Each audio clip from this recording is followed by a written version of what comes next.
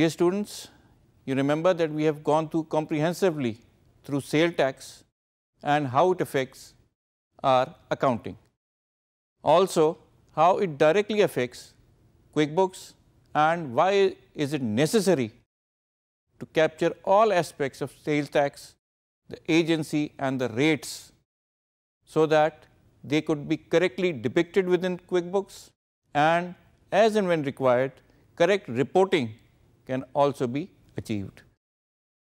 आप जानते हैं कि सेल टैक्स हमारे यहाँ बहुत सारी एजेंसीज कलेक्ट करने की मजाज हैं इसी तरह बाहर के ममालिक में भी सेल टैक्स बहुत सारी सतह पे कलेक्ट किया जाता है और सबसे अहम चीज़ ये है कि हमें पता होना चाहिए कि सेल टैक्स का रेट क्या है, ये रेट किस एजेंसी से लिंक्ड है, और डिडक्शन कब और किस वक्त इन एजेंसीज को रिमिट या भेजनी है, इरसाल करनी इन तमाम चीज़ों की इंफॉर्मेशन जब तक आपके पास नहीं होगी, आप अपने सिस्टम में सेल टैक्स सही तरीके से सेट नहीं कर पाएँगे। आइए देखते हैं कि हम ये सेल टैक्स का सेटअप अपने पास क्विक बुक्स में किस तरीके से करें। जैसे कि आप देख रहे हैं कि ये तमाम इन्फॉर्मेशन हमारे पास सेल्स टैक्स प्रेफरेंस में मौजूद है। होम पेज पे आने के बाद आपने एडिट में जाना है और एडिट में हमारे पास मौजूद है प्रेफरेंसेस जब आप प्रेफरेंसेस को क्लिक करेंगे तो हमारे पास एक लंबी लिस्ट ऑफ़ प्रेफरेंसेस मौजूद है। लेकिन what we have to choose is sales tax preference क्योंकि this is what we are going to set up in this lecture sale tax के बाद हमने कंपनी प्रेफरेंसेस प्रेफर करनी है। तो सबसे पहला सवाल जो हमसे किया जाता है do you charge sale tax अगर हमने इसे नो कर दिया, फिर तो हमारी सारी चीज़ें ब्लैंक आउट हो जाएगी। फिर तो कुछ ज़रूरत ही नहीं कुछ और काम करने की, क्योंकि हम सेल टैक्स कहीं से भी नहीं काट रहे, बल्कि सेल टैक्स हम कहीं से कलेक्ट भी नहीं कर रहे। So yes we are collecting sale tax on behalf of a certain agencies अब यहाँ जो हम सेल टैक्स सेट करने जा रहे हैं, वो कहलाता है the most common sale tax item most common sale tax item का मैंने आपको पहले भी बताया हुआ है, ये डिफ़ॉल्ट आइटम है तो ये ऑटोमेटिकली इन्वोक हो चुका होगा। और इसको हमने एक दफ़ा सेट करना है।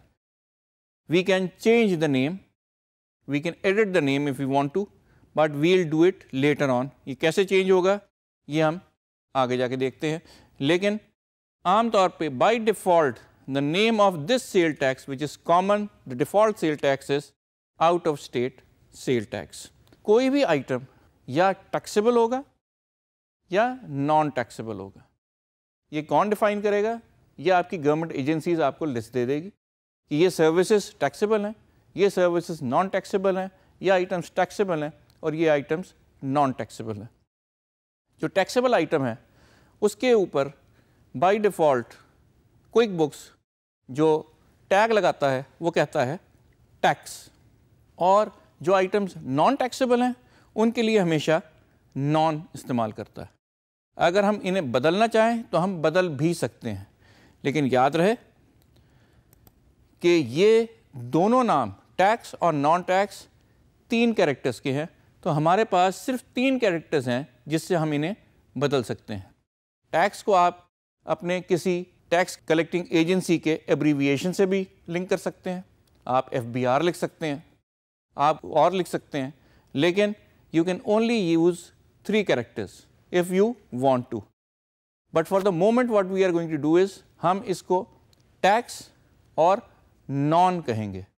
हमारे पास सिर्फ़ गुंजाइश है तीन कैरेक्टर्स की, और अभी हम फ़िलहाल इसे चेंज नहीं करेंगे। और जिन आइटम्स के साथ टैक्स लगेगा, उसके साथ टैक्स का टैग आएगा, और जिन आइटम्स के साथ टैक्स हमने अदा नहीं करना, उसके साथ नॉन का आएगा। उसके बाद जो चीज़ आ रही है, जो हमसे पूछी जाती है when do you owe sale tax कब आपने सेल टैक्स अदा करना है, कब कटौती करनी है इसकी? ये आपके अकाउंटिंग प्रिंसिपल पे डिपेंड करता है कि आपकी कंपनी किस किस्म की अकाउंटिंग कर रही है। अगर वो अक्रूवल बेस्ड अकाउंटिंग कर रही है तो याद रहे कि हमने एज ऑफ़ इन्वॉइस डेट जिस दिन इन्वॉइस बनेगी, उसी दिन हमने ये टैक्स की अमाउंट पेएबल में डाल देनी है। लेकिन अगर आप उसको रसीट के ऊपर करना चाहते हैं या कैश बेसिस पे करना चाहते हैं तो वो ऑप्शन भी यहाँ मौजूद है। ये आपके अकाउंटिंग डिपार्टमेंट अकाउंटिंग हेड आपको बताएँगे कि सेटअप करने के लिए हमने कौन सी बेसिस ऑफ़ अकाउंटिंग इसके लिए इस्तेमाल करनी है। दूसरी चीज़ वो जो पूछ रहा है हमसे, वो कहता है when do you pay sale tax sale tax हमने कब जमा कराना है ट्रेजरी में? इसकी इन्फॉर्मेशन आपको वो एजेंसी देगी जिसके बिहाफ पे आप ये टैक्स कलेक्ट कर रहे हैं। अभी हम जो most commonly use sale tax इस्तेमाल करेंगे for the moment this is going to be a provincial tax सारी चीज़ों के ऊपर ये लागू होगा और हम इसको मंथली रिमिट किया करेंगे अपनी मेन एजेंसी को। ये सारी इंफॉर्मेशन देने के बाद नाउ वी आर श्योर कि हमने एक सेल टैक्स जो डिफ़ॉल्ट सेल टैक्स है, वो क्रिएट कर दिया है और हम इसे कहेंगे ओके अगर हम इसको देखना चाहें, इसे रीडिफाइन करना चाहें, इसका नाम बदलना चाहें तो हमें जाना पड़ेगा, जैसे कि आपको पता ही होगा लिस्ट के अंदर। क्योंकि तमाम आइटम जो हम क्रिएट करते हैं, वो एक लिस्ट में आ जाते हैं। हम आइटम लिस्ट में जाते हैं, और हमारे पास आइटम लिस्ट में तमाम चीज़ें नज़र आ रही हैं, और हमारे पास वो सेल टैक्स जो हमने क्रिएट किया था out of state sale tax इसको हम फ़िलहाल चाहेंगे कि इसका नाम हम वो वाला दें जिससे हमें फ़ौर समझ में आ जाए कि ये टैक्स हम किस एजेंसी के बिहाफ पे कलेक्ट कर रहे हैं। दो तरीक़े हैं, या आप राइट क्लिक करें, या आप इसे डबल क्लिक करें। दोनों तरीक़ों से ये आपका जो आइटम है, वो खुल जाएगा। तो हम इसको एडिट करते हैं। इसके अंदर हमारे पास वो तमाम चीज़ें मौजूद हैं, जो कि हमने पहले डिफ़ाइन की हुई थी। अब हम इसका नाम रख रहे हैं अपने हिसाब से क्योंकि ये एक प्रोविंशियल या सूबाई टैक्स है। प्रोविंशियल एसटी सेल टैक्स इसका अगर कोई एक डिफ़ॉल्ट वैल्यू है, वो भी हम इसी वक्त इसको असाइन कर देंगे। So for convenience we are assigning it five percent ये कौन सी एजेंसी कलेक्ट कर रही है? अब हो सकता है कि वो एजेंसी हमारे पास डिफ़ाइन ना हो, या हमें उसे डिफ़ाइन करना पड़े। एक चीज़ याद रखें कि जैसे ही हमने वो एजेंसी खोली है, अब आप नीचे देख रहे होंगे कि हमारे पास तमाम वेंडर्स लिस्टेड हो गए। ये क्यों हुआ? रीज़न बीइंग कि हमारा क्विक बुक्स हमारे तमाम जो भी एंटिटीज़ हैं जिनको हमने पे करना है, उनको एज अ वेंडर ट्रीट करती है। Whether they are are suppliers of goods और सर्विसेज़ और यूटिलिटी सप्लायर्स और agencies on behalf of which we are collecting tax and we are going to remit that tax to that particular agency that is also considered as far as QuickBooks is concerned a vendor. तो ये हमारे पास as a vendor कहीं ना कहीं listed होगा in this case are provincial agency is Punjab revenue authority और अगर ये इसमें लिस्टेड ना होती और हमें एक नई बनानी पड़ती we can create a new agency यहाँ हम जाएँ और एक न्यू एजेंसी जिसका नाम फेडरल बोर्ड ऑफ़ रेवेन्यू है क्रिएट कर दें अब आप ये देख सकते हैं कि ये पूरी वही स्क्रीन है, जिसमें हमने एक वेंडर क्रिएट किया था। So in effect in the list of vendors we not only have are suppliers but also all agencies to which we are liable to pay something भले वो बिजली फराम करने वाले हों, भले वो टेलीफोन वाले हों, जिनसे हम पैसे क्लेम करते हैं वो हमेशा अंडर द हेडिंग कस्टमर आएँगे। इसलिए जब हम ये नई एजेंसी क्रिएट कर रहे हैं तो उसकी सारी इन्फॉर्मेशन जो हमारे पास आ रही है, वो under the head vendor save हो रही है। हम नई एजेंसी की क्रिएट कर रहे हैं, उसका एड्रेस हम दे दें, और ये सारी इन्फॉर्मेशन यहाँ लिखी हुई है, ये हम सारी इन्फॉर्मेशन उसकी डाल सकते हैं।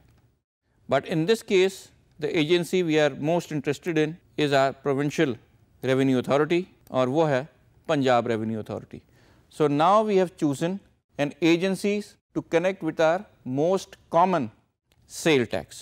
okay करें अब हमने डिफाइन कर दिया है कि हमारा सेल टैक्स जो मोस्ट कॉमन होगा, वो कराएगा प्रोविंशियल सेल टैक्स और जो एजेंसीज ये कलेक्ट करेगी हमसे, वो होगी पी आर ए या पंजाब रेवेन्यू अथॉरिटी अब आइए देखते हैं कि इसका इफ़ेक्ट हमारे पास डायरेक्टली कैसे आता है?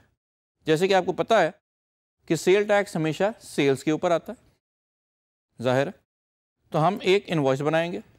Let's create an invoice and see how effective are taxes इस invoice में सबसे पहले हमने एक कस्टमर चूज़ करना, जिसके लिए हम ये काम कर रहे हैं। जैसे ही हमने कस्टमर चूज़ किया, हमारे पास सबसे पहला सवाल आया कि किस आइटम को हम सर्विस या इन्वेंट्री पार्ट को हम सिलेक्ट करते हैं। Let select door handles door handles as you can see are taxable आप यहाँ देख सकते हैं कि इसके आगे वो टैग लगा हुआ है टैक्स का। और जैसे कि मैंने आपको पहले भी बताया था कि आपके पास दो ऑप्शन थे टैक्सेबल है या नॉन टैक्सेबल है। और हम इसका नाम बदल सकते हैं टैक्स पर्सन नहीं हम कुछ और रख लें, लेकिन one again limited to three characters in this case are main item is taxable and that is a door handle और हम क्वांटिटी करते हैं वन जैसे ही हमने इसमें अपनी क्वांटिटी डाली तो आप देखते हैं कि प्रोवेंशियल सेल टैक्स जो हमने डिफ़ाइन किया हुआ था फाइव परसेंट पे, वो ऑटोमेटिकली हमें नज़र आने लगा और उसने पंद्रह सौ रुपये का 75 कैलकुलेट करके आपको यहाँ दिखा दिया है। So in effect although your product cost sale price is 1500 But due to addition of sale tax which is 75 the total receivable from our customer और client is 1575 which includes the price of the item that you are selling as well as the sale tax. ये जैसे ही हमने create किया system ने automatically ये चीज़ select कर ली और आपको दिखा दी तो ये तरीक़ेकार है हमारे सेल टैक्स कलेक्शन का। और ये वो बाय डिफ़ॉल्ट सेल टैक्स है जो हमने डिफ़ाइन किया था। इसको हम सेव एंड क्लोज कर देते हैं। जो अब हमने सेल टैक्स डिफ़ाइन किया है, जिसे हमने डिफ़ॉल्ट सेल टैक्स रखा है, वो हमेशा हमें अपनी इनवॉइस की विंडो में नज़र आता रहेगा। We can change it if we want to और बाज़ दफ़ा ये होगा कि हमारा आइटम नॉन टैक्सेबल होगा तो वो चार्ज नहीं होगा। उसकी भी मिसाल देख लेते हैं कि हम एक यूज़र चूज़ करें और अभी आप देख सकते हैं कि यहाँ जितने भी आइटम हैं हमारे, वो सारे नॉन हैं। नॉन का मतलब है कि ये टैक्सेबल नहीं है। हम क्वांटिटी डालते जाते हैं, लेकिन क्योंकि ये आइटम नॉन टैक्सेबल हमने डिक्लेयर किया हुआ है। इसलिए किसी किस्म का सेल टैक्स इसके ऊपर कैलकुलेट नहीं हो रहा।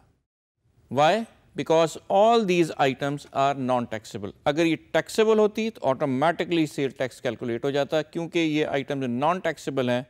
No sale tax is being calculated ये इसका बिल्ट इन फीचर है। तो अब आपको डिफ्रेंशिएट करने में समझ में आ गई हैं कि हम सेल टैक्स किस तरीके से इन्वोक कर सकते हैं और वो आइटम के साथ कैसे लिंक्ड होता है। जो भी टैक्सेबल आइटम होगा, उसके साथ ऑटोमेटिक सेल टैक्स लिंक होगा और जो नॉन टैक्सेबल आइटम होगा, उसके साथ सेल टैक्स ना सिर्फ़ लिंक नहीं होगा कैलकुलेट भी नहीं करेगा। इन कंक्लूजन ना यू कैन वेल इमेजिन कि हमारा सिस्टम डिफ़ाइन कर देता है कि हम जब भी कोई आइटम टैक्सेबल डिफ़ाइन करें या नॉन टैक्सेबल डिफ़ाइन करें system automatically based on that tag sales tax calculate कर देगा। और अगर एक ही इनवॉइस में एक टैक्सेबल आइटम हो और एक नॉन टैक्सेबल आइटम हो तो रेस्ट अश्योर्ड आपको कोई परेशानी की ज़रूरत नहीं। आपका सिस्टम सिर्फ़ टैक्सेबल आइटम का टैक्स कैलकुलेट करेगा और नॉन टैक्सेबल का टैक्स कैलकुलेट नहीं करेगा। और यही वो फैसिलिटी है जो क्विक बुक्स अपने यूज़र्स को देता है और आप खुद सोच लें अगर आपके पास बहुत सारे आइटम्स हैं, जिसमें टैक्सेबल भी हैं और नॉन टैक्सेबल भी हैं, और आप ये मैनुअली बैठ के कैलकुलेट कर रहे होते तो आपको कितना मुश्किल लगता। लेकिन क्विक बुक्स जो कि एक सिस्टम है, वो हमें फैसिलिटेट करता है कि हमारी बहुत सारी इस तरह की कैलकुलेशन है, हमें बहुत आसानी से करके दे देता है और सारा रिकॉर्ड सही जगह रख देता है so in conclusion this is how we set our most common default sale tax and use it on all invoices which we are going to generate during our course of work.